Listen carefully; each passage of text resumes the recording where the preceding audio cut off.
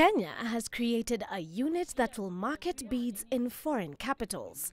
The Ushanga Kenya initiative facilitates the access to markets for the women who have long struggled to sell their products.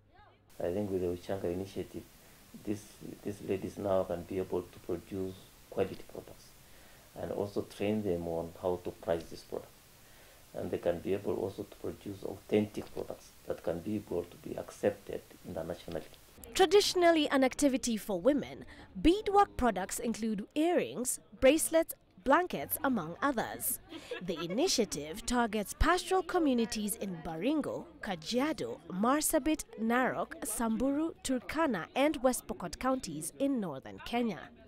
According to the World Bank, traditional art has the potential to become a profitable export niche.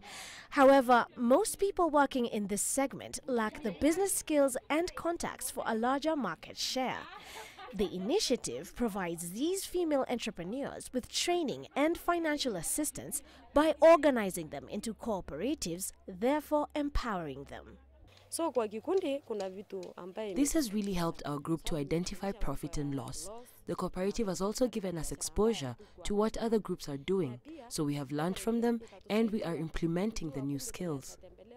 Catherine Len Turkan is one of the members of the Samburu Beadwork Cooperative that have benefited directly from the initiative.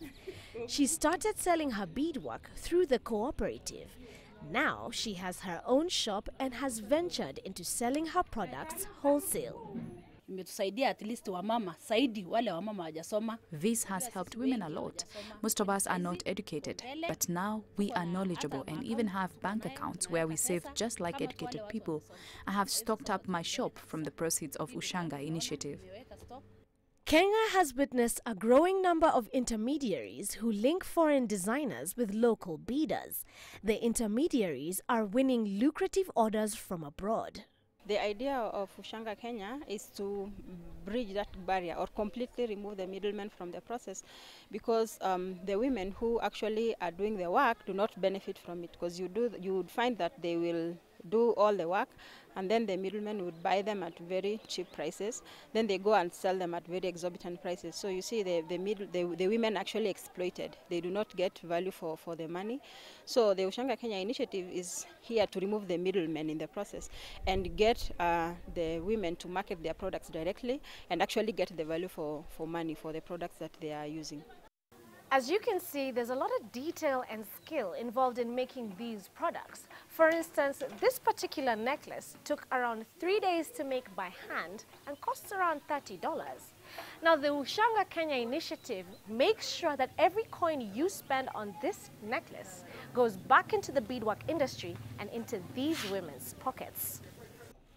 Funding for Ushanga Kenya is drawn mainly from the allocations to the Ministry of Tourism and the county governments involved in the project. Terry Wangari, CGTN.